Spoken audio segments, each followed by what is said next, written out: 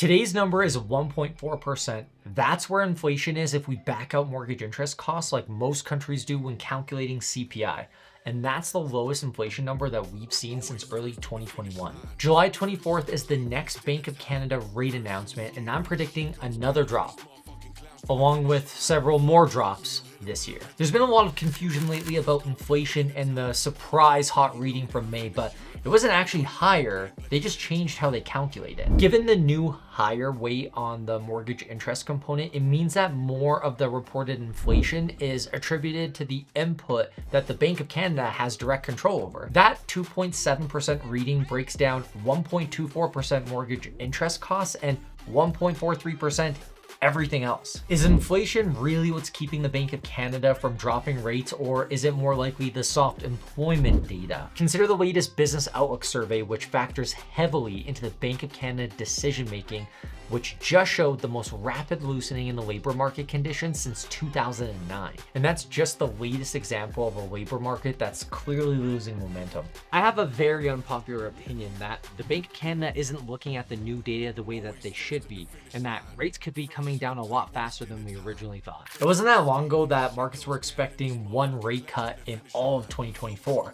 Now markets are pricing in four cuts this year, including the one that we had in June. All of a sudden, the call for 1 to 1.5% of cuts isn't so far-fetched, and I still think that the market will come around by the end of summer. There are a few important factors for everyone to know and monitor if you're rate sensitive or waiting for rates to come down. Firstly, employment and finances. Canada's labor market is now completely unable to keep up with the unhinged population growth.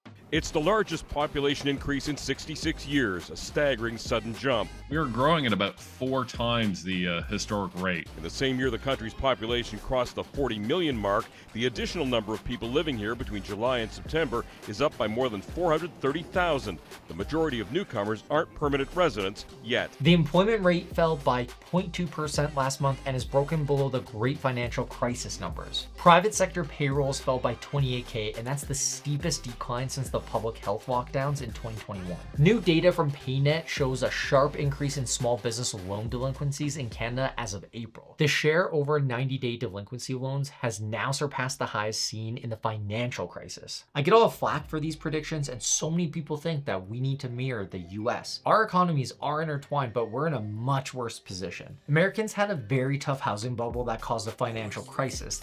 That taught them a lesson. Canadians haven't seen pain like that, and our market is more leveraged and our GDP is not as strong. We can't ignore the impact of international trends.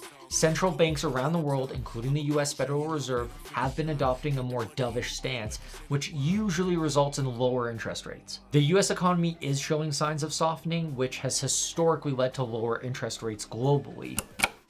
All right, quick pause on this video. Listen, before I say anything, this isn't coming from me, this is coming from the entire team. We need more subs. A lot of our viewers are still not subscribed. So please like, share, and comment below on the type of content that you'd like to see next. Canada's not immune to these global trends. If major economies are reducing their rates, the Bank of Canada might follow suit to maintain competitive currency rates and trade balances. The economy and small businesses aren't doing well, and these numbers might only get worse. Secondly, if we want to look at large markets that have heavy leverage and debt, Toronto's a great example of where the economy's at. Seasonally adjusted, sales across the GTA did manage to tick up 4.5% month over month, breaking a string of four consecutive months of declines, but that just left them at the lowest level of any June since 2000. And that still puts them down at 60.5% year over year with the condo segment down almost 30%. It's so easy to forget that these aren't just investors or foreign buyers. These are families that are now underwater and hurting. We get so many comments about not leveraging and not getting into debt. I have $30,000 in credit card debt. But it's easy to say when you don't live in a market like that.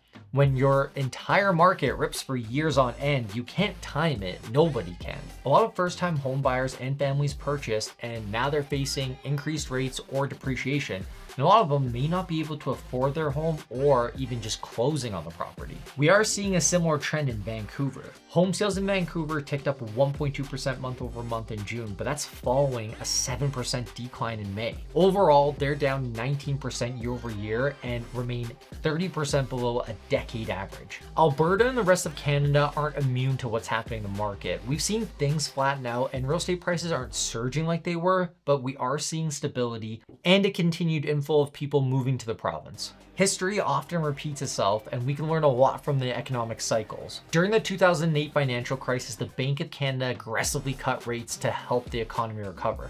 We saw the same thing during the COVID lockdowns, and we're seeing similar conditions now. We're actually seeing worse conditions now by some metrics pointing towards the need for lower rates to support growth and stability right now. If there was a checklist to determine whether rates should come down, it would probably look like this. Lower inflation, check. Lower employment numbers, check. Small businesses struggling, check. Canadian household savings approaching near record low levels, check. I know it's not that easy and there are a lot of factors that change monthly, but we should be expecting rate cuts almost every single meeting. And I'm to stick to my previous prediction where we will see a 1% cut by the end of the year.